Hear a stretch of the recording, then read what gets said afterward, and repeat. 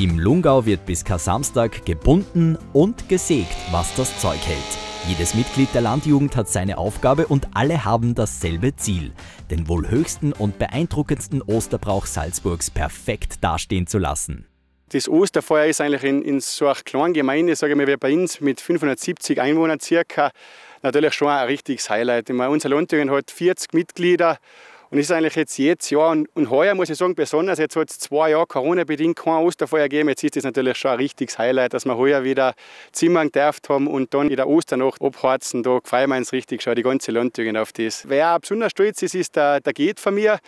Der war eigentlich vor, sage jetzt einmal, 25 Jahren, war es der, der Wiedergründungsmitglied von der Landjugend und natürlich, das befüllt ihn schon mit Stolz, nie, wo man da, da steht und nachher so ein Endprodukt hat, das ist schon richtig cool, ja. Auch die Landjugend Mauterndorf wird mit ihrem Osterfeuer rechtzeitig fertig. Genau, also heute machen die Mädels und auch der Simon ist Kreuz, das kommt dann ganz oben aufs Osterfeuer dann drauf.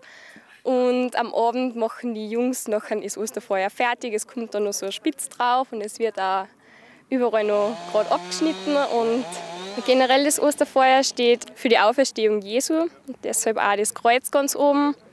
Früher hat es ja noch die andere Bedeutung gehabt, dass im kalten Winter quasi ausgetrieben hat und es steht halt auch für Fruchtbarkeit, Wachstum und für gute Ernte für die Bauern im nächsten Sommer.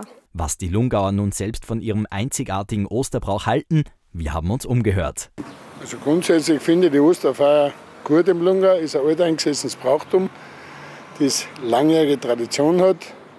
Der Legende nach sind die Osterfeier damals so wirksam gewesen, dass in den Franzosenzeiten die Franzosen verjagt worden sind mit der Feier, weil überall die Feier waren und die Leute gemeint haben, jetzt sind sie, sie müssen wieder abziehen. Uns ist das Osterfeuer sehr wichtig.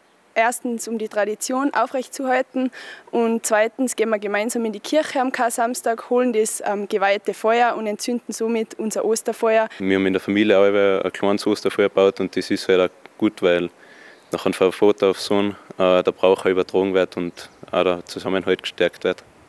Also ich denke, das ist schon sehr wichtig. Also ich glaube, die Osterfeuer ist nicht mehr so wie früher, äh, dass irgendwie alles auf einen Haufen zusammengehauen wird, sondern es wird auch schon richtig geschaut, dass man äh, das nachhaltiger macht und die Osterfeuer, glaube ich, sind auch weniger, waren dafür ein bisschen schöner.